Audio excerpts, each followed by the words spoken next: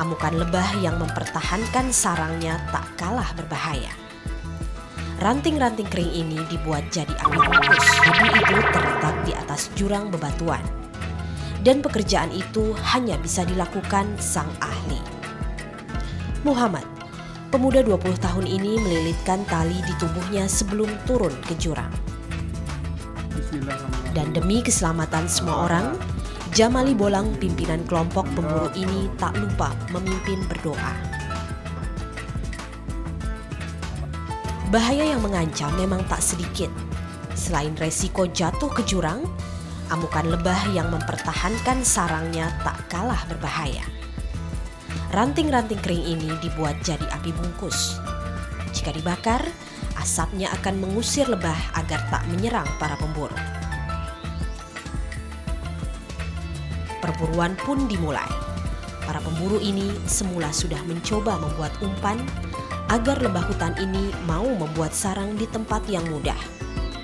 Sayangnya lebah hutan ini selalu membuat sarang di lokasi yang sulit. Jadi para pemburu terpaksa bekerja keras mendaki tempat-tempat yang terjal.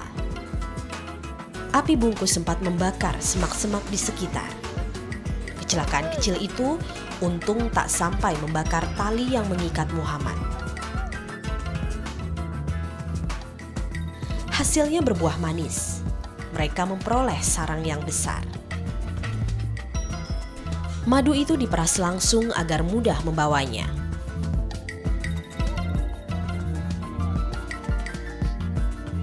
Nurul Koyimah, Bobby Gunawan, Trans yang renyah dan enak di lidah. Di kota Pontianak, Kalimantan Barat, keladi diolah menjadi keripik yang laku di pasaran, bahkan sampai ke negeri tetangga. Salah satu pembuat keripik khas Pontianak ini adalah Tejin Kiang. Sekitar 25 karyawan setiap harinya memproduksi keripik ladi. Tak sembarang ubi dipilih, harus yang berkualitas bagus tentunya. Kalau sesuatu yang bagus yang ini Pak ya, yang model gini yang halus, enggak usah enggak, enggak terlibat kasar gitu ya, atau terlalu lempung itu. Nah, Setelah dikupas dan dibersihkan, umbi ini lalu dicincang jadi potongan-potongan kecil. Bumbu yang terdiri dari bawang putih, garam, dan penyedap makan pun dibubuhkan. Proses penggorengan dilakukan sekitar 10 menit hingga 15 menit. Setelah masak, keripik ini ditiriskan agar bumbunya lebih terasa. Setelah itu barulah keripik dimasukkan ke dalam kemasan plastik dan siap dijual. Nah, bagi Anda yang kebetulan datang ke Pontianak, Anda bisa membeli keripik ladi seharga Rp7.000. Adi Saputro, Trans TV Pontianak, Kalimantan Barat.